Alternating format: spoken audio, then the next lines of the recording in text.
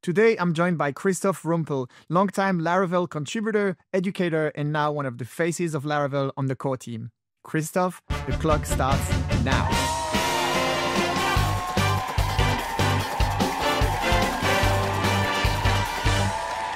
Alrighty, uh, you create a lot of video content.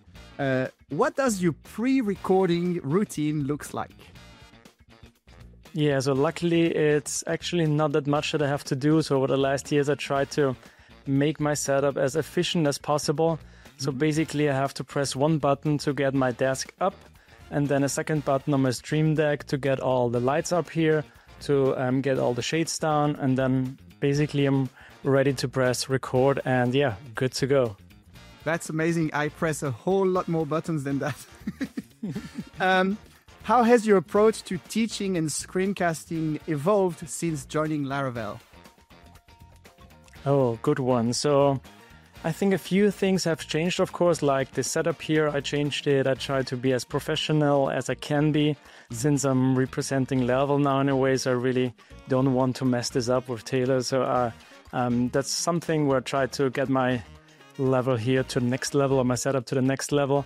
But in terms of teaching and presenting and my screencast, I'd say not really much has, has changed. I still try to be as eye to eye with the people that I try to present to. I try to imagine there's one person here that I trying to present this new feature or what I do in the video and I try to take them on a little journey from hey here's where you are here is where we have something new here's an issue here we can do this and now this gets you from A to B and um, yeah, hopefully people when they see my video at the end, they know not just what the feature is about, but also how they can use it.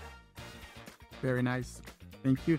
Um, how do you keep up with all the new features in Laravel each week? Uh, do you get any cool automation in your what's new video workflow? Oh yeah, I do. So yeah, you know, there's a lot going on, especially now that the the team has grown so much. Yeah and yeah, Taylor and everyone is cooking. And yeah, we have a lot of new things on the framework, and I'm responsible for the what's new video almost every week. So yeah, there's a lot going on, and I have this CLI a command line interface tool which helps me to where I just pick a specific release. It shows me all the features. I just pick the ones where I think they are most interesting for this video, and then it creates me this whole Notion page with all the um, with a database with all the features, with all the links, pull request links, with all uh, the contributors and their um, Twitter tags and so on, so that it makes me makes me as simple as possible to start recording. And after the video is done, I can also use this tool to create a timeline, video description, um, some social media posts, and so on. So yeah, I try to work this to get this even better because this is something that I need every week. And yeah, I also really love working on these automations too. That's super cool. You're very organized. um, I try. This thrilling episode of Running Clock is proudly brought to you by Laracast. Yes, sir, yes, ma'am. It's the rootinest tootinest Laravel screencast this side of the information highway. And back to the show. Uh, you've been part of the Laravel community for a good 10 years. Uh, what's something that stayed true since the early days? Oh, yeah. Um, I think it's now my 12th or 13th year in the Laravel community. And I think there's a lot which is still the same. So, right from the beginning, people were super friendly back in 2012 or something. And yeah, I think that's still the case. People just like to show how things are done, try to help you. Every, everyone is very positive about everything. We're well, very welcoming. Come here. Let's let me show you what we do here. Maybe you like it, maybe not. But yeah, I think that's one of Taylor's biggest success, um, the community. And yeah, we have the framework, we have everything, but the community, people just come here, have a good time. They work, but they also have fun. And I think that's just the best combination. So yeah, thank you, Taylor, again for this.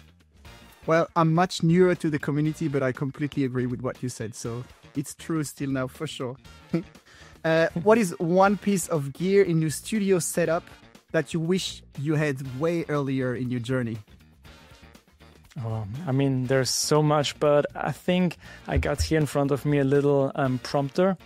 which is really nice because I can directly look into the camera, but I still have our interface here where I can see um, you and me, and I don't have to look somewhere else to check what's going on. So, yeah, this would have been really nice some years ago already, but it just came out, I think, last year. So, I think this wouldn't have been possible. But yeah, I really love this piece of technology and it helps me a lot.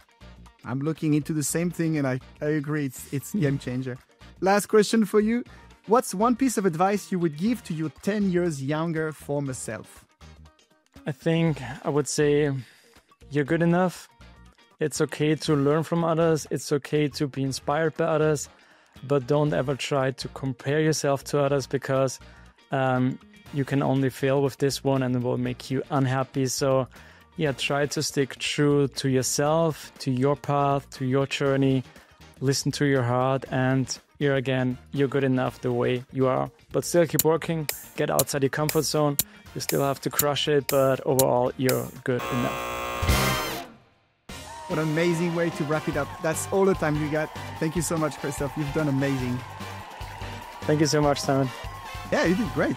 Whew. Yeah. Basketball championship. Congrats. Oh my god, so it must be every day. Pretty much every day, yeah. This is my contribution to the, the community. It's your open source. exactly.